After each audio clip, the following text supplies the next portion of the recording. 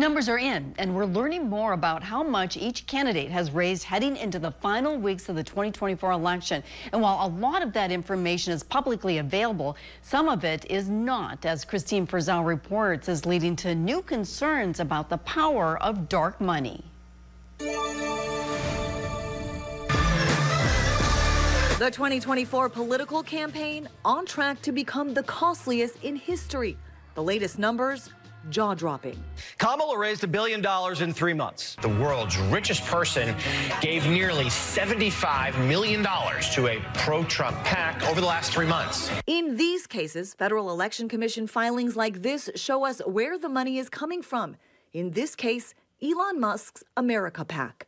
But concerns are mounting over groups that may be shielding the donors behind the donations. What you might end up with is political candidates or potentially public office holders who are beholden to uh, people that we don't actually know. There's no transparency. Eric Eggers is author of the book Fraud How the Left Plans to Steal the Next Election and has been looking into the left leaning group ActBlue, which does not require donors to provide their CVV, the security code on the back of credit cards. Money could be coming from foreign sources when the credit cards don't require that three or four digit CVV that helps identify the donor to the money. The Committee on House Administration now investigating ActBlue, raising concerns in a letter to the FEC, arguing ActBlue's donor procedures are painfully outside the norm and that its practices invite the possibility of foreign donations. Only American citizens should be contributing and voting in our elections. Concerns over dark money have been raised by the left as well.